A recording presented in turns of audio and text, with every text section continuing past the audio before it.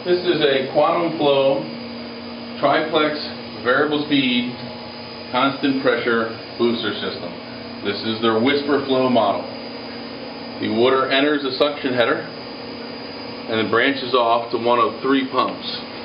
Each pump has an isolation valve, a union for servicing. Inside this stainless steel pipe is the electric motor.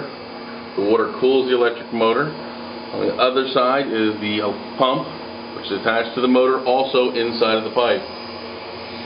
On the suction header, you have a sensing line. If the suction pressure drops below a preset point, the pump shut off to save the pump. Coming along the actual pump tube, you'll make your way to an air release valve, automatic air release valve, one on each pump, and a temperature purge valve. Next to that, we have a Victaulic style coupling which breaks apart for servicing the pump and the motor, which slide out the end of the tube.